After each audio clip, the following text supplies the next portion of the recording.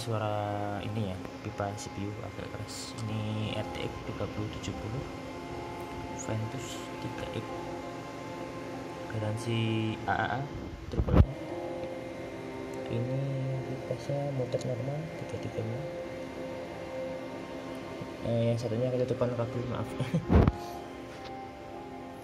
Dusnya ini kitab kitabnya kartu garansi. Nah, ini ada kayak holdernya holder VGA ini yang berisik ini juga saya lagi benchmark. Nah ini. Suhunya adem ya?